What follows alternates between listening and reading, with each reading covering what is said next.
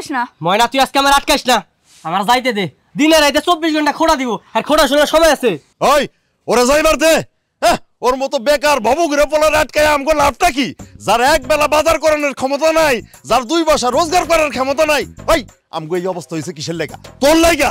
তোর পিছনে আমার টাকা পয়সা জমি জাতি সবকিছু শেষ করছি আবার বড় বড় বলিয়া উড়াইতেছে। আবার থামো তুমি। তোমার আমি চ্যালেঞ্জ করতেছি। আমি ঢাকা শহরে এমন বড় লোক আমু যা আমার দেখলে তুমি চিনবা না। এমন বড় গাড়ি কিনে নিয়ে মু যে এই গলিতে ঢুকাইলে রাস্তা বন্ধ হয়ে যাব মানুষ হাঁটতে পারব না। উনি ঢাকায় যায় একদম রাজা বাচ্চা হয়ে যাব গাড়ি কিনবো। ওই অহন বাপের পকেট থেকে টাকা না দিলে এক জোড়া জুতা কেনার ক্ষমতা নাই। আবার বড় বড় কথা কইতাছস বড় গাড়ি কিনে নিয়ে বাড়িতে আসবি। তুমি এই জুতা লয়ে আমার খোড়া দিলা বললাম না তোমার জুতা রাখা গেলাম। এমন দিন আইবো যে জুতার কালার লগে ম্যাচিং করে আমি গাড়ি লয়ে ঘুরবো বুঝছ? দুই পয়সা রোজগার করার মোরাদ নাই, আবার জুতার কালারের লগে মিলে উনি গাড়ি কিনবো। তোর বয়সী, আমার বন্ধুর এক পোলা আছে, ও হন ম্যাজিস্ট্রেট। আর তুই কি করছস? ওই, তুই জীবনে কি করছস? খালি তো বাপের কান্দে বইসা বইসা খাস। আব্বা, তুমি বয়স লয়ে কথা কইলা না? তোমার বয়স হইতে রহিম চাচা এলাকার চেয়ারম্যান, কই? তখন তো বয়স লয়ে তুলনা করো না। এ ময়না, তুই থাক, দোয়া করি যাতে বাপের প্রতিশোধ আমি নিতে পারি। আজা দেওয়া যাইবো। উনি ঢাকা শহরে যায় রাজা বাদশা হইবো। ইনকাম করব গাড়ি কিনবো। অনতে খাস বাপের কান্দে বইসা নিজে ইনকাম কইয়া দেখ মজা কত লাগে। ঢাকা শহরে টাকা উইরা বেড়াই গাড়ি কিনবো। বড় লোক হয়ে করে।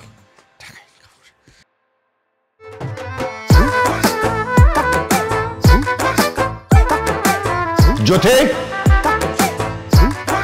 এখন আবার কোথায় বেরোচ্ছিস? আমার বয়ফ্রেন্ডের সাথে দেখা করতে। এই তোকে না আমি নিষেধ করছি ওই ছেলের সাথে মিশতে। দেখো বাবা আমি তোমাকে আগে বলে দিয়েছি আমি নিলয়কে অনেক ভালোবাসি। আর যদি বিয়ে করতে হয় আমি নিলয়কেই বিয়ে করব। নীলের মতো একটা নেশাকর ছেলের সাথে আমি আমার মেয়ের বিয়ে কখনো দেব না। এই বিয়েতে আমার মত নাই। কিন্তু বাবা আমি নিলয়কে অনেক ভালোবাসি। এসব ভালোবাসাবাসি কোনো মূল্য নাই। তোর মায়ের মত নাই আমার মত নাই। এখন বাকিটা তোর সিদ্ধান্ত। ঠিক আছে? তোমাদের যদি মত না থাকে তোমাদের অমতে আমি বিয়ে করব।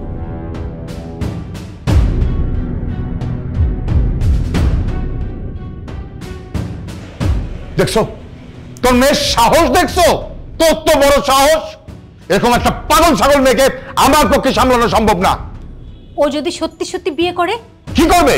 বরণ ডালা সাজিয়ে রাখো বরণ করে নেবে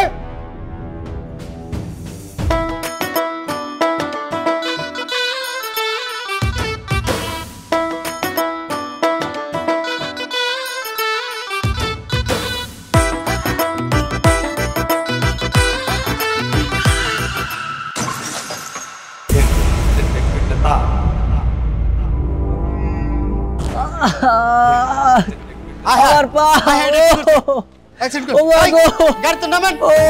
গাড়িতে নামেন। এই গাড়ি ভাঙি গেলা। এই লোকটার ইচ্ছে করে অ্যাক্সিডেন্ট করছে।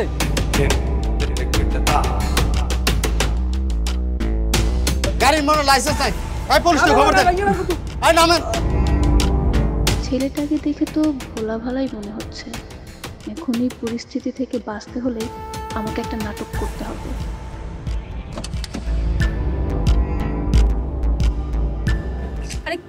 হয়েছে কি হ্যাঁ? এত চিৎকার চেঁচামেচি করছেন কেন? ওনাকে আপনারা চিনেন? আর এই যে তুমি, মানলাম তোমার সাথে আমার ঝগড়া হয়েছে। এই জন্য তুমি আমাকে এইভাবে ফাঁসাতে চাচ্ছ? তুমি মরার জন্য আর কোনো গাড়ি পেলে না? আমার গাড়ির সামনেই কেন তুমি ঝাঁপ দিয়েছ? আজকে তোমার খবর আছে, বাসায় চলো। উঠো গাড়িতে উঠো। এই মানে আপনি এসব কি উল্টা উল্টাপাল্টা কথা বলতেছেন? আপনারা তো ঠিক বলতে চিনি না। হয়েছে এত নাটক করতে হবে না। আচ্ছা মানলাম আমি একটু বেশি শপিং করে ফেলেছি। এই জন্য তুমি এত রাগ দেখাবে? ভাই আপনি বলুন বউ হয়ে আমি একটু বেশি শপিং করে ফেলেছি। এই জন্য কি স্বামীর এত রাগ দেখানো মানায়? বলুন এই ভাই আপনি বলুন। না না না। ভাই বাসায় যান। আরে না না আমরা কোনো জামাই বউ না। আমি ওনারা চিনি না উল্টাপাল্টা কথা বলতেছে উনি মিথ্যা কথা বলতেছে। ও এই ব্যাপার হ্যাঁ? স্বামী স্ত্রী মামলা। ভাই দেখি তো। স্যার এই যে উনি উনি আমার অ্যাক্সিডেন্ট করছে স্যার। লিখছে এখানে? এ- এই গাড়ি কার? আসলে হয়েছে কি স্যার? উনি আমার হাজবেন্ড আমার সাথে ঝগড়া করে বাসা থেকে চলে এসেছে। এখন আমাকে ফাঁসানোর জন্য আমার গাড়ির এখানে সুযোগ করতে চেয়েছে। কোনো সমস্যা নেই স্যার আমরা সব মিটিয়ে নিব। চলো। আচ্ছা, না না স্যার আমি ওনারা চিনি না উনি আমার বউ না স্যার আমি ওনারা চিনি না। দেখো তুমি কিন্তু একটু বেশি বাড়াবাড়ি করছ। আমার কি মান সম্মান বলে কিছু নেই? তুমি যদি এমন করো তাহলে কিন্তু তোমাকে আমি ডিভোর্স দিয়ে দিব। প্লিজ চলো তোমাকে। পায়ে অনেক উনি কি আসলে আপনার স্বামী? স্যার, কি বলছেন? আজকালকার দিনে কি কেউ হাজব্যান্ড ওয়াইফ নিয়ে মিথ্যে কথা বলে? উনি সত্যি আমার হাজব্যান্ড চলো, তোমাকে ডাক্তারের কাছে নিয়ে যাব, চলো। এই যে ভদ্রলোক শুনুন ফ্যামিলি সমস্যা ফ্যামিলি থেকে মেটাবেন। রাস্তাঘাটে এরকম উল্টাপাল্টা আচরণ করবেন না। আরে যে আপনি শুনুন, ওনাকে বাসায় নিয়ে যাওয়ার আগে এখনই হসপিটালে নিয়ে যান। আপনাদের গাড়ি আমাদের নজরদারিতে থাকবে। যান, এখনই নিয়ে যান। এই, ওনাকে ধরে গাড়িতে উঠে দাও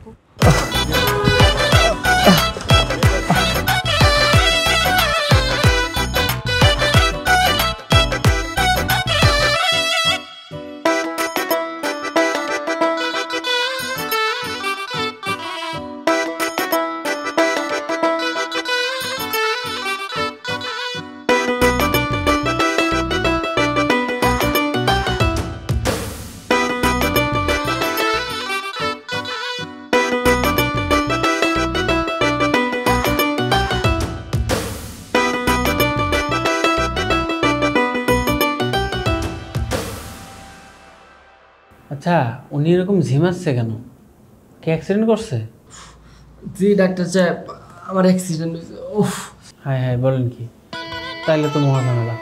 আচ্ছা পুলিশকে জানাইতে হবে না? পুলিশকে তো জানাইতে হবে। আমি ইনফর্ম করতেছি। আচ্ছা বলেন তো অ্যাক্সিডেন্টটা কোথায় হয়েছিল? কীভাবে হয়েছিল? ডাক্তার সাহেব আপনার কর্মকাণ্ড দেখে কি মনে হচ্ছে জানেন? আমি অ্যাক্সিডেন্ট না। আমি মার্ডার করে ওনার লাশ নিয়ে এসেছি আপনার কাছে। না না বিষয়টা সেইটা না রাগ করি না। পাবলিক কেস তো আমি যদি পুলিশকে না জানিয়ে ট্রিটমেন্ট শুরু করি তাহলে পরবর্তীতে আমারই ঝামেলা হবে। কোনো পাবলিক কেস না। উনি আমার হাজবেন্ড আমার সাথে ঝগড়া করে উনি ছাদ থেকে একটু লাভ দিয়েছিল। তারপর একটু পায়ে ব্যথা পেয়েছে। আপনি কোনো মতো একটু ব্যান্ডেজ ফ্যান্ডেজ করে দিন। হাজব্যান্ড ওয়াইফ কেস সেটা তো আগে বলবেন। আর কে বলেছে আমরা হাজব্যান্ড ওয়াইফ হ্যাঁ? ওনাকে তো আমি ঠিক মতো চিনিই না। আরে ভাই আমি যে ডাক্তার মানুষ আমারও তো বউয়ের সাথে ঝগড়া হয়। আমার বউয়ের সাথে যখন ঝগড়া হয় তখন তো আমি নিজেই আমার বউরে চিনি না। আর আপনি তো। ডাক্তার সাহেব ওনার সাথে বেশি কথা বলার কোনো প্রয়োজন নেই। আপনাদের কাজ করুন। ও হ্যাঁ তাই তো। আচ্ছা চলেন দেখি আপনার কি হয়েছে আসেন।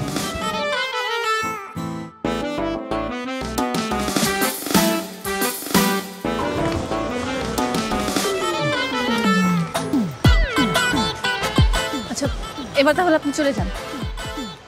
চলে যাব মানে? মানে ডাক্তার তো বলল আপনার পা একদিনে ঠিক হয়ে যাবে। তাহলে আপনি যেখানে যাচ্ছিলেন সেখানে চলে যান। ওমা মানে আপনি না একটু আগে পুরো দুনিয়ার সামনে আমাকে জামাই বানিয়ে দিলেন আপনার। আর এখনই পোল্টি মারছেন? জি মারছি। তখন তো পুলিশ সামনে ছিল। আর এদিকে আমার লাইসেন্সও ছিল না। অনেক বড় ঝামেলাও হতে পারতো। এই ঝামেলা সামলানোর জন্য তো আমাকে নাটকটা করতে হয়েছে। এতটুকু সামান্য ব্যাপার আপনার মাথায় ঢুকলো না? ওরে বাবা এই ব্যাপার হ্যাঁ? জি এই ব্যাপার। না আমি মানি না। মানে আপনি নিজে বাঁচার জন্য আমাকে জামাই বানিয়ে দিলেন। আপনি বেঁচে গেছেন আর আমাকে দূরে ঠেলে দিচ্ছেন। তা তো হবে না। তা হবে না মানে? মানে?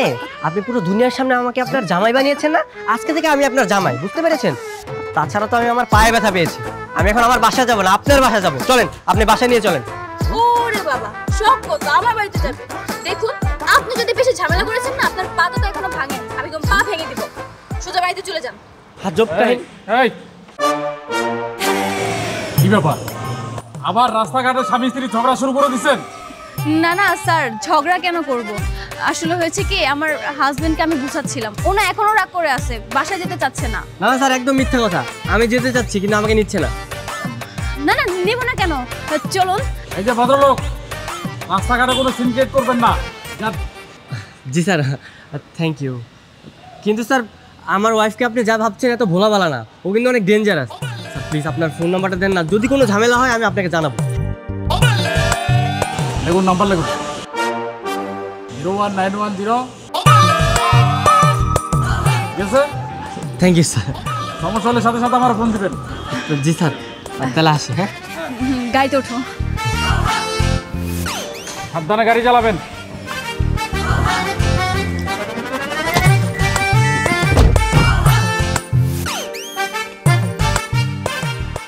জ্যোতির্মা ছেলেটা যদি নেশাখোর না হতো যদি গরিবও হতো আমি কিন্তু আমার মেয়েকে ওর হাতেই তুলে দিতাম।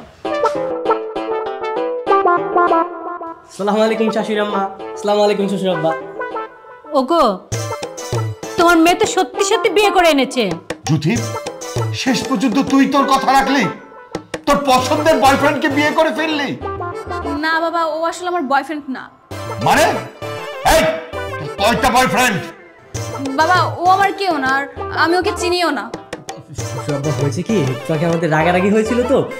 তাই স্বামী স্বীকার করতে অস্বীকার করছে। আর বিয়ের পরে বলেছিল তো সরাসরি আমাদের বাসায় যাবে। কিন্তু আমি বলেছি না আগে শ্বশুর শাশুড়ি দোয়া নিব তারপরে বাসা যাব। ঠিক করেছি না শাশুড়ি আম্মা? মারে তুই সত্যি সত্যি বিয়ে করে ফেললি? মা এটা একটা অ্যাক্সিডেন্ট তারপর বিয়েটাই তো একটা অ্যাক্সিডেন্ট তো সব কিছু বুঝতে পারছি। তো পছন্দের বয়ফ্রেন্ডকে বিয়ে করছিস না? দাঁড়িয়ে আছিস কেন? জানিয়ে যা। ভিতরে যা। বাবা তুমি একবার বোঝার চেষ্টা করো। কি বুঝব? তুই আর আমাদের কি বুঝাবি? যা বুঝানো তা তো বুঝাইছিস। যা ভিতরে যা। যা। বাবা তুমি না? তুমি আমাদের জামাই? জি শাশুড়ি আম্মা। আচ্ছা আমার মেয়ে যেই ছেলেটাকে পছন্দ করে সে তো তুমি না। ওই ছেলেটাকে আমি খুব ভালো করে চিনি। তুমি কে? সত্যি করে বলো তো। ইয়ে, মানে এই মানে মানে করতে হবে না। আসল কাহিনী কি সেটা বলো। আসলে উনি আমার পরিচিত না আমি অপরিচিত। আর আমি ঢাকায় নতুন এসেছি। উনি আমাকে অ্যাক্সিডেন্ট করেছিল। আমি পায়ে অল্প একটু ব্যথা পেয়েছি। পরবর্তীতে অনেক লোক এসেছিল আর লোকজনের মাঝখানে আমাকে স্বামীর স্বীকৃতি দিয়েছিল। আর আমিও ওনার সাথে সাথে ওই স্বামীর ক্যারেক্টারটা প্লে করেছি। আপনারা যেহেতু আমাকে ধরেই ফেলেছেন, আর এখানে থেকে লাভ নেই। আমি বরং চলে যাই হ্যাঁ? তুমি যে ক্যারেক্টারে আছো, সেই ক্যারেক্টারেই থাকো। আমার মেয়ে যে ছেলেটাকে পছন্দ করে, সে একটা মাতাল নেশাকর তার চেয়ে তুমি অনেক ভালো তুমি লাইনে আছো লাইনেই থাকো। আগে আমি আমার মেয়ের মাথার থেকে ভুট্টা নামাই তারপরে তুমি যাবে। হ্যাঁ হ্যাঁ অবশ্যই। ঠিক আছে কোনো সমস্যা নেই। তো নামাবো ঠিকই আমার বুকটাও ওর মাথায় ঢুকাবে এই তো এটাই আমার শ্বশুর বাড়ি আছে আমার বাপ করে দেখাবো আমি বন্ধ করে বিয়ে করে বন্ধ হচ্ছে সবচেয়ে বড় আর কোনো। দাঁড়িয়ে আছো কেন? জি। যাও ভেতরে যাও। যাও। আমি জানতাম। আমি জানতাম তোমার মেয়ে এই ধরনের একটা কাজ করবে।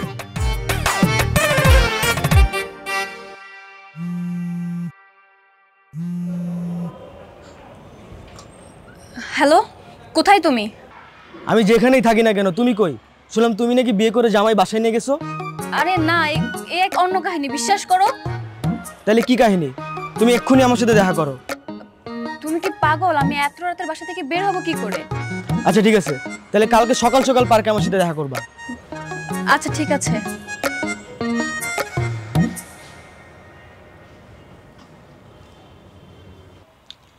তা বাবা তোমার বাসায় কে কে আছে? এই তো বাবা আছে বোন আছে আর মা তো ছোট থাকতেই মারা গেছেন। ও সরি বাবা।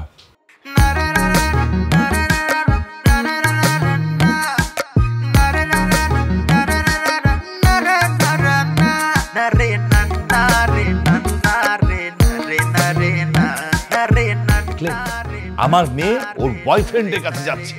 তুমি বসে আছো কেন? আরে যাও গিয়ে একটা ঝামেলা পাকাও। হ্যাঁ হ্যাঁ অবশ্যই। শ্বশুরমশাই দোয়া করবেন। আরে বেঁচে থাকো যাও যাও যাও জলদি যাও। তুমি আবার কি শুরু করলে? আমি তো কিছুই বুঝতে পারছি না। আরে কাটা দিয়ে কাটা তুলছি। আমার মেয়ের মাথা থেকে ভূত নামানোর এটাই হচ্ছে মোক্ষম অস্ত্র।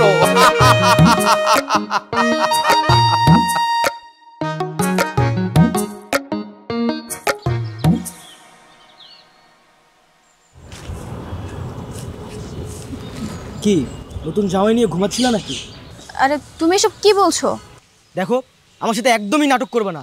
আমি সব খবর পাইছি। তুমি নাকি বিয়ে করছ? আরে না না এগুলো তোমাকে কে বলেছে? এগুলো তো সব মিথ্যে আর এটা একটা অ্যাক্সিডেন্ট আরে বউ!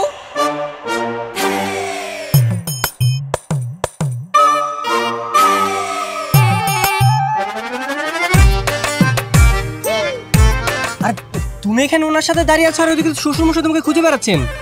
বাবা তার মানে এইটা তোমার জামাই? আবার শ্বশুর মশাই বলছে তার মানে সবকিছু ফ্যামিলি পর্যন্ত জানে? আরে ভাই আপনি ফ্যামিলি নিয়ে পড়ে আছেন। এই বিষয়ে তো এলাকার সবাই জানে। আপনার যদি বিশ্বাস না হয় আপনি পুলিশ স্টেশনে যান না। পুলিশে গিয়ে বলবেন পুলিশ আপনাকে সাক্ষী দেবে। ডাক্তারকে গিয়ে বলবেন ডাক্তার আপনাকে সাক্ষী দেবে। আর শ্বশুর শাশুড়ির কথা তো বাদই দিল না না নিলয় বিশ্বাস করো ওর সাথে আমার কোনো বিয়ে হয় না আর তুমি যদি বিশ্বাস না করো তাহলে আমার বাবাকে ফোন দাও। আপনি ফোন দেন বাবাকে ফোন দেন।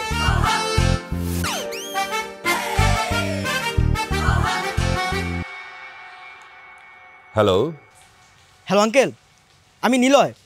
আপনারা নাকি জ্যোতিকে বিয়ে দিয়েছেন? হ্যাঁ দিয়েছি তো। কালকে আমরা নিজেরা দাঁড়িয়ে থেকে আমার মেয়ের বিয়ে দিয়েছি। আচ্ছা ঠিক আছে। তাহলে এখানে কি আমার সাথে নাটক করতে আসছো? আর কয়টা জামাই লাগে তোমার হ্যাঁ? তুমি থাকো তোমার জামাই নিয়ে। আজকে থেকে আমাদের ব্রেকআপ নিলয় নিলয়!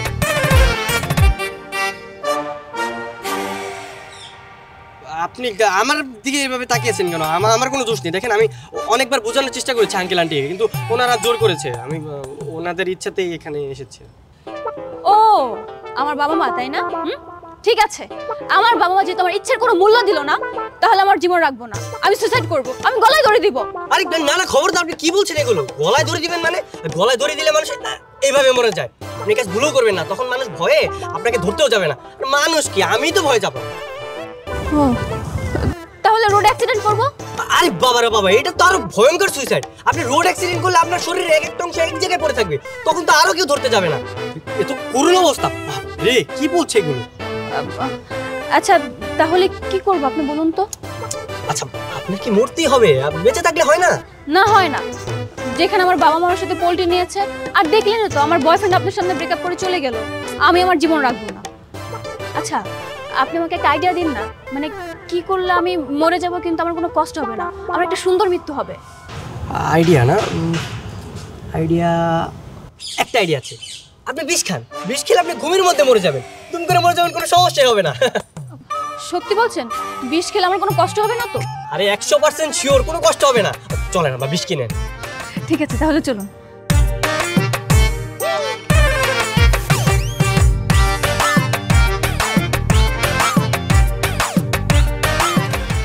ভাইয়া বিষ আছে?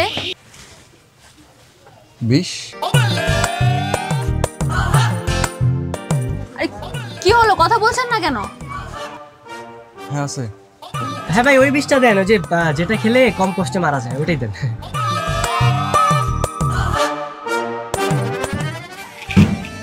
হ্যাঁ হ্যাঁ এটাই এটাই কত হলো? একশো টাকা। চলো। হ্যাঁ চল।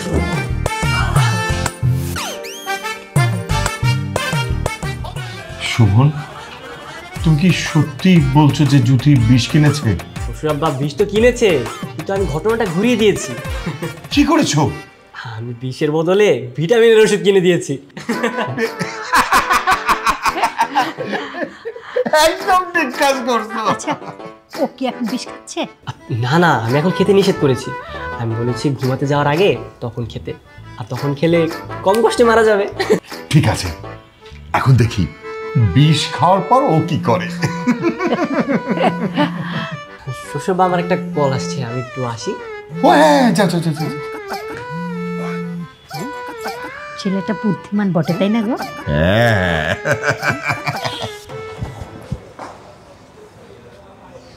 হ্যাঁ হ্যালো ভাইয়া। কেমন আছিস তুই?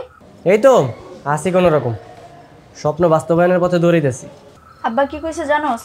আব্বা কইছে তোর দ্বারা কিছু হইতো না। তাতে ভালো তুই গ্রামে আয়া পর আয়া একটা চায়ের দোকান দে। হ আমার খায় দেয় তো কাজ নাই। আমি গ্রামে যাই চায়ের দোকান নিবো তাই না? আবার ভালো মতো কয়ে দে হ্যাঁ এই আশা কখনো পূরণ হইব না। এত তাড়াতাড়ি আমি ফিরতাছি না। আমি আমার চ্যালেঞ্জ রক্ষার কাজে নিয়োজিত। মানে? মানে তোর আমি কইছি না আমি বড় লোক হয়ে গাড়ি কিনা তারপর গ্রামে ফিরমু। আমি মই পেয়ে গেছি। শুধু গাছে ওটা বাকি আছে। ভাইয়া ভাইয়া কি কইল তোর ভাইয়া? শোন, তোর ভাইয়া না, ঢাকায় গিয়া ওই সেরা খেতার মধ্যে শুয়ে থাইকা লাখ টাকার স্বপ্ন দেখতেছে। যে আইলসা আইলসা তোর ভাইয়া কাজ কাম করব, বড় লোক হইব, গাড়ি কিনবো। পাগলে কামড়াইছে সব। যা, মেলা রাইত হয়েছে খাওন দে, ক্ষুধা লাগছে।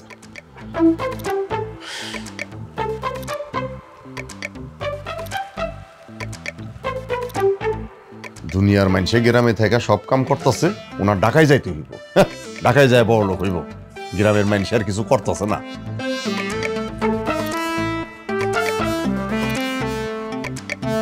বাবা? কি রে মা কিছু বলবি? বাবা আমি আজকে রাত্রে বিষ খাব। ও বিষ খাবি না? খা। কোনো সমস্যা নেই। তোমার কয়টাই খাবি? ভাবছি দশটার দিকেই খাব। না রে মা দশটায় খাওয়ার দরকার নাই। দশটার সময় আমাকে নিউজ দেখতে হবে। আজকে নাকি বাজারে আবার পটলের দাম বাড়ছে। মা তুই বারোটাই খাস। রাখো তোমার পটলের দাম। আজকে বারোটা হিন্দি সিরিয়াল দেখতেই হবে। শাশুড়ি বউকে অত্যাচার করবে। খুব মজার সিন মিস করা যাবে না। মিস করা যাবে না। হ্যাঁ মেয়েটা কার? মেয়েটা হচ্ছে আমার। আমি যখন বলব তখন বিষ খাবে তখন মরবে। তাই না রে মা? উম, নিজে যেন মেয়েটাকে পেটে ধরছে। এই তুই বলতো তুই তোর বাবার কথা শুনবি নাকি তুই আমার কথা শুনবি? তোমরা সব কি শুরু করেছ হ্যাঁ? তোমাদের মেয়ে বিষ খেয়ে মরে যাবে সেদিকে তোমাদের কোনো খেয়াল নেই? তোমরা আছো তোমাদের ঝগড়া নিয়ে। আচ্ছা তোর জীবন তুই যদি তোর জীবনটা নাই রাখতে চাস তাহলে আমাদের কি করার আছে বল? হ্যাঁ সেটাই। তুই মরে গেলি বেঁচে গেলি। আমার কি অবস্থা হবে? তুই মরে যাওয়ার পর চল্লিশা করতে হবে কত আত্মীয় স্বজন দাওয়াত দিতে হবে কত ঝামেলা বল? আরে না না সুইসাইড মৃত্যু চল্লিশা কেউ খেতে আসে না। আর ফ্রি ফ্রি মানুষ খাওয়া কি লাভ বলো? তার থেকে এক কাজ করি আমরা। ওই টাকা দিয়ে না আমরা দুজন কক্সবাজার থেকে ঘুরে আসি কি বলো? কি বলো? কক্সবাজার যাব আমি? হ্যাঁ? খুব ভালো বুদ্ধি। ছেলেটার অনেক বুদ্ধি তাই না গো? হ্যাঁ আমারও তাই মনে হচ্ছে।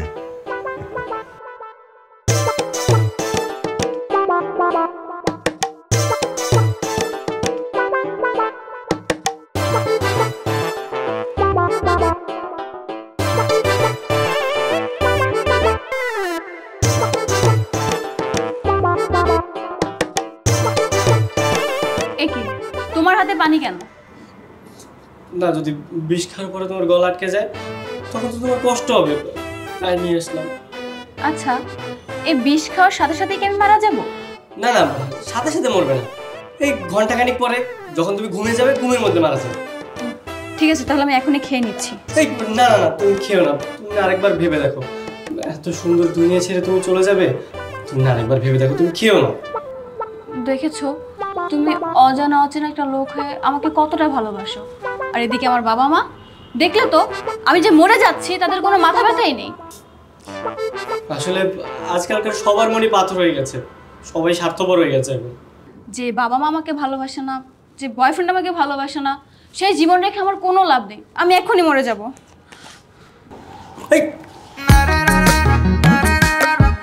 এই কি আপনি খেয়ে নিলেন? এই যা। আমি সত্যি খেয়ে নিলাম।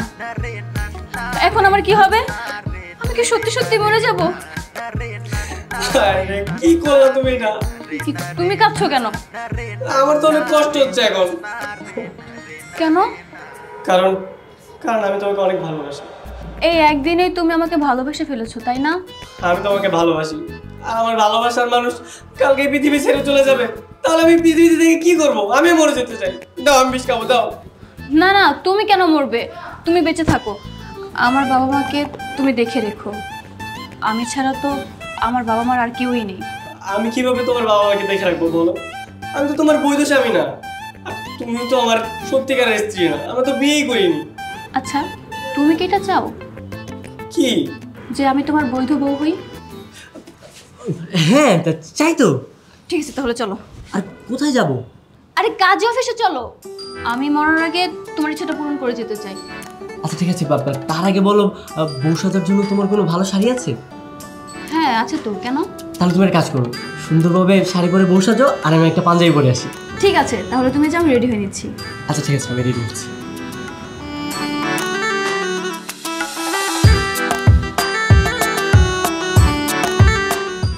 এই চাচা আপনি কি কোনো সময় বুঝেন না? আপনাকে সেই কখন থেকে আমি বলছি বিয়েটা তাড়াতাড়ি পড়ান তাড়াতাড়ি পড়ান আপনি কোনো তারাই দেখাচ্ছেন না। পুলিশে তারা করছে নাকি? না কোনো ঝামেলা আছে? না চাচা পুলিশও তাড়া করেনি কোনো ঝামেলাও নেই। আমাদের অন্য এক কাহিনী রয়েছে। আপনি তাড়াতাড়ি বিয়ের কাজটা শেষ করুন। সাক্ষী কই? মা বাবা কই? আমার বাপের জন্য এত রাতে বিয়ে পড়ায় নাই। পড়াননি তো কি হয়েছে? এখন পড়াবেন। আপনি তাড়াতাড়ি বিয়ের কাজটা শুরু করুন। আমাদের তারা রয়েছে। না কোনো ঝামেলা আছে নাকি? দুই পরিবারের মধ্যে কোনো জ্ঞান জাম বা অন্য কোনো ঝামেলা? আরে চাচা কোনো সমস্যা নেই। আপনি বিয়েটা পড়ান তো তাড়াতাড়ি। না অনেক সময় হয় না যে মায়ের পক্ষ রাজি না তারপর এসে কাজী অফিস ভাঙচুর করছে। আপনাকে তো বললাম কোনো জ্ঞানজাম হয় না কিচ্ছু হয় না আপনি নিশ্চিন্তে বিয়েটা পড়ান। ও তাহলে ঠিক আছে।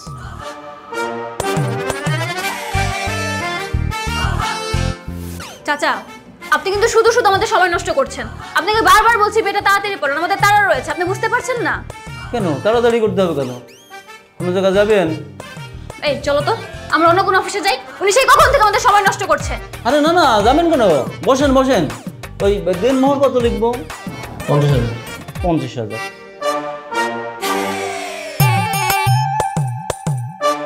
এক কাজ করেন এই যে এইখানে আপনার নাম ঠিকানা আর স্বাক্ষর করেন।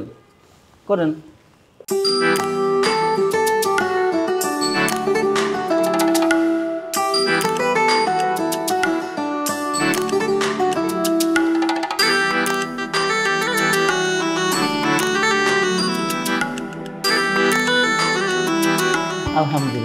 আলহামদুলিল্লাহ তো হয়ে গেল। বাকি কাজ তো আমি নিজেই করে ফেলব।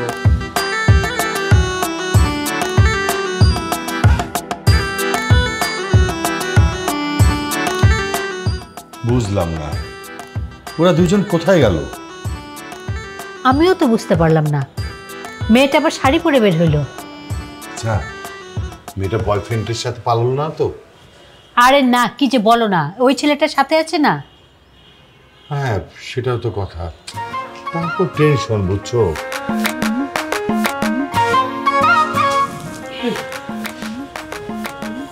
এত রাতে আসলি তোরা?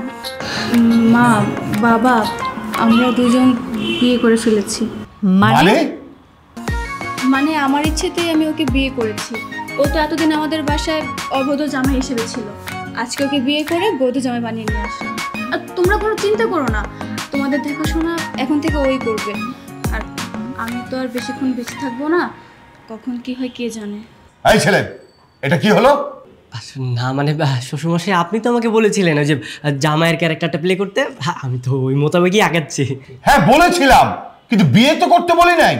ও এটা বলেননি না? এটা বলতে হবে কেন বাবা? আমি তোমাকে বললাম না আমি আমার নিজের ইচ্ছেতেই বিয়ে করেছি। আর আমার কাছে বেশি সময়ও নেই। আমার এখনই পুরো শরীর আর মাথাটা কেমন চিনচিন করছে। তোমরা চিন্তা করো না এখন থেকে তোমাদের দুজনকে ও দেখে শুনে রাখবে। ও ছেলেটা অনেক ভালো জানো? ও আমাকে অনেক ভালোবাসে তাই না বলো? হ্যাঁ হ্যাঁ। তোমরা ওকে কখনো কষ্ট দিও না। ঠিক আছে চলো আমরা দুজন ভিতরে যাই। চল।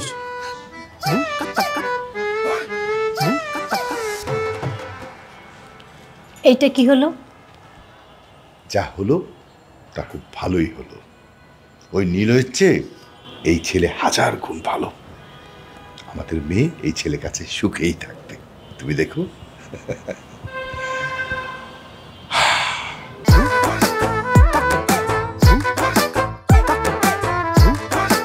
কি এবার তুমি খুশি তো? না আমি একদমই খুশি না। কেন? এই তুমি পাগল নাকি হ্যাঁ? কি করছ? তো পাগল। মানে একটু পর আমার বউটা মারা যাবে আমি কি খুশিতে থাকব? আমার তো কষ্ট হচ্ছে। ও তাই তো। জানো আমি যদি আগে থেকে জানতাম যে তুমি আমাকে ভালোবাসো আর তোমার সাথে যদি পরিচয় আমার আগে থেকে থাকতো না তাহলে আজকে হয়তো আমি বিষটা খেতাম না। কি কি- কি বলছো তুমি? সত্যি? হুম। কিন্তু কি আর করার বলো? আমি তো বিষটা খেয়ে ফেলেছি। একটু পরে তো আমার শরীর পুরো নিস্তেজ হয়ে যাবে। আমার তো এখনই মাথাটা কেমন চক্কর মারছে। আচ্ছা তো ঠিক আছে সমস্যা নাই তুমি শুয়ে পড়ো ঘুমাও ঘুমাও। ঠিক আছে।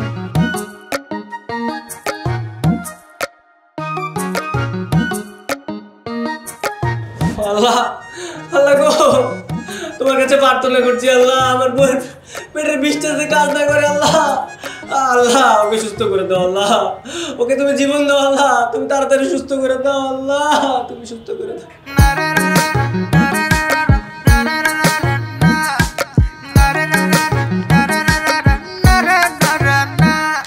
মা তুই খাবি না?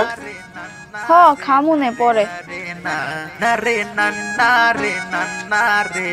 তোর ভাই আর ফোন টোন দিছিল খোঁজ খবর কিছু পাইছস? না আব্বা। কিন্তু ভাইয়া কইয়া গেছে। যেদিন আইব ওই দিন তোমারে চমকাই দিব। আমারও চমকাইয়া দিব না? আমার যে কত চমকাইবো সেটা আমার বোঝা হয়ে গেছে। দুদিন পরে দেখবি ল্যাস গুটাই এই জায়গায় আইসা আমারে ডাকতাছে আব্বা আব্বা। আমারে চমকাইয়া দিব। না আব্বা এমন কিছুই হইতো না। দেখবা এবার কিছু না কিছু একটা কইরাই আইছে। তুমি হুদাই ভাই আরে ভুল বুঝো। ভুল কি আর সাদে বুঝি রে মা? সব সময় সব বাবা মাই চায়। যে পোলা বেকার না থাইকা একটা কিছু করুক। লেখাপড়া শেষ করছে ওখানে একটা কিছু করব না। আর ওই জিদের কথা কইলি না, জিদ চাপানো সেইটা তো অন্যায়ের কিছু না। আমিও ওর এই যে উল্টা পাল্টা কথা কই, কি লেগা কই? ওই যে ওর মনের মধ্যে জিদ চাপু জিদ চাইপা যদি একটা কিছু করে, তাও তো হয়। গেছে দেখা যাক ঢাই কি করে? হ, বুঝছি। এবার খায়ালো আল্লাহ, তোমার কাছে কিছু চাই না গো আল্লাহ। আল্লাহ, আমার বউ বিষ খাইছে, আল্লাহ।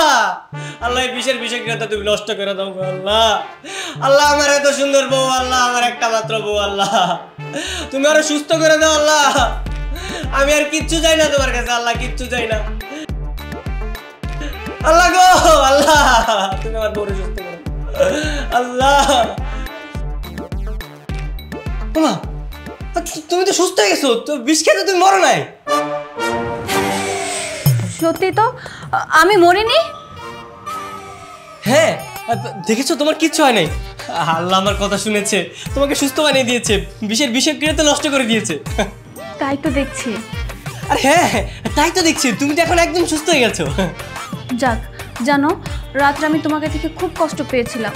আমিও খুব করে চেয়েছি বিষটা যেন কোনো কাজেই না লাগে। আমি যেন মরে না যাই। হ্যাঁ যেহেতু তুমি ঘুমের মধ্যে মরনি তোমার আর নিতে হবে না। তোমার কিচ্ছু হবে না তুমি একদম সুস্থ হয়ে গেছো।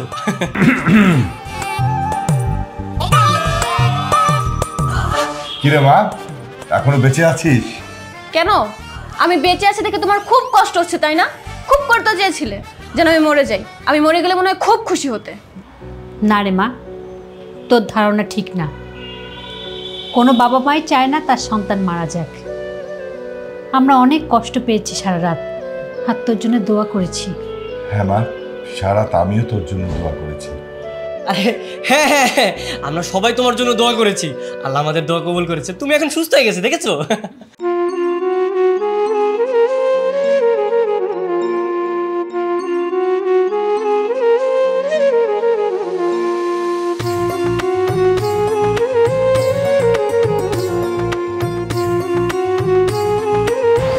ঘটনা প্রবাহ যেখানে যাক না কেন দিন শেষে কিন্তু আমরা হাজব্যান্ড ওয়াইফ হ্যাঁ সত্যি বলেছ। তা আমাকে শ্বশুরবাড়ি নিয়ে যাবা কবে? মানে তোমাকে কি যে বলব আমি বুঝতে পারতেছি না। কেন কি হয়েছে? সত্যি বলতে আর্থিকভাবে আমরা তোমাদের থেকে অনেক গরিব। আর তাছাড়া আমার বাবা আমাকে উঠতে বসতে খোটা দেয় আর এই অবস্থায় ওই বাড়িতে তোমাকে নেওয়াটা ঠিক হবে কি না আমি আসলে বুঝতে পারতেছি না। তাতে আমার কোনো প্রবলেম নেই। বিয়ে যেহেতু করেই ফেলেছি আমি আমার শ্বশুরবাড়ির প্রতিটা লোকের সাথে দেখা করতে চাই। আমি সেখানেই থাকতে চাই। সেটা গ্রাম হোক কিংবা শহর হোক তাতে আমার কোনো আপত্তি নেই। আমি সবার সাথে খুব মিলেমিশেই থাকব। তুমি সত্যি বলছো? তাহলে চলো আগামীকালই আমরা গ্রামের বাড়িতে যাই। ঠিক আছে চলো। ঠিক আছে।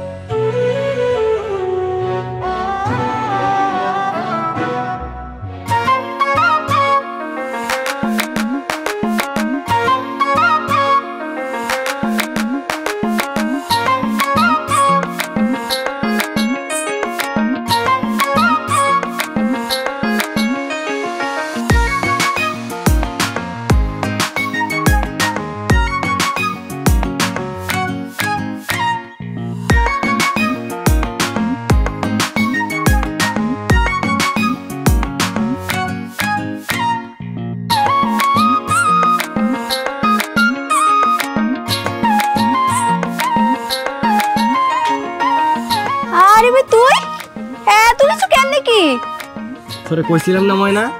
যেদিন আমি গ্রামে ফিরমু গাড়ি নিয়ে ফিরমু এই যে আমার গাড়ি দেখ। সবই তো বুঝলাম কিন্তু এই মেয়েটা কেডা? এটা? এটা হইতেছে গিয়ে তোর ভাবি। কি কস ভাইয়া? তুই বিয়া করছস? আরে তো সুন্দর বউ মাশাআল্লাহ। আব্বা আব্বা কই তুমি? দেখো তোমার পোলা আইছে। আব্বা!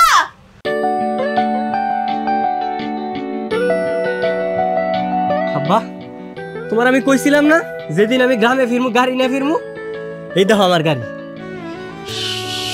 সবই ঠিক আছে বাজান কিন্তু ওই সাথের নারীটা কেডা? আব্বা এই নারীটা হইতেছে কি তোমার বৌমা। এই, সালাম করো সালাম করো। হইছে মা হইছে হইছে হইছে। বাবা আমি ওর কাছ থেকে সব ঘটনাই শুনতে পেরেছি। আপনি কোনো চিন্তা করবেন না ও এখন বেকার নয়। আমাদের কোম্পানিতে ওর অনেক ভালো একটা পোস্টে চাকরি দিয়েছি। এখন ওর মাসিক ইনকাম দুই লক্ষ টাকা। কেন আব্বা তো তোমার বৌমা কি পছন্দ হয় না পছন্দ হয়েছে। আমার খুব পছন্দ হয়েছে। আমার গাধাটাই এতদিনে একটা কামের মতো কাম করছে হ্যাঁ? আমার খুব পছন্দ হয়েছে। হ্যাঁ এখন তো কইবা কামের মতো কাম করছি। কদিন আগেই তো কইতা যে বেকার করি কোনো কাজ কাম পারি না। আর এখন দেখছ কত ভালো চাকরি করি দুই লাখ টাকা স্যালারি আমার প্রত্যেক মাসে। বাজান রে এই যে তুই এখন বিয়া শাদি করছস না? আল্লাহ তোকে সন্তান দিয়ে দিলে এমনি বুঝবার পারবি। আসলে এই বাবা মা কিসের লেগে সন্তানকে উপরে রাগারাগি করে এইটা এমনি বুঝতে পারবি। পরে কথা কম যাব আয় বৌমারে নিয়ে আগে ভিতরে আয় খারাপ আছে। আয়, আহ, বোমা, আহ।